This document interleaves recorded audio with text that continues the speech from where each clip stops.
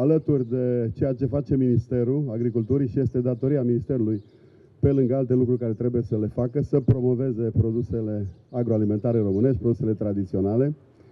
Uh, este necesar ca și autoritățile publice, locale sau județene, să facă eforturi în același sens, în sensul în care să-și promoveze brandurile locale, obiceiurile locale, meșteșugurile locale, produsele și rețetele tradiționale locale.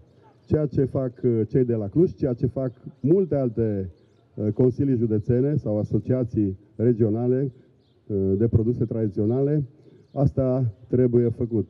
Ei sigur au o istorie destul de veche, undeva peste 10 ani. I-am întâlnit peste tot la târguri, atât târguri naționale cât și târguri internaționale, de aceea i-am invitat împreună cu colegii mei să deschidă acest ciclu de promovare a produselor tradiționale românești din fiecare regiune. Urmând ca în următoarele luni și alte regiuni și alte consilii județene și alte branduri regionale să fie prezente în curtea Ministerului Agriculturii și Dezvoltării Regionale.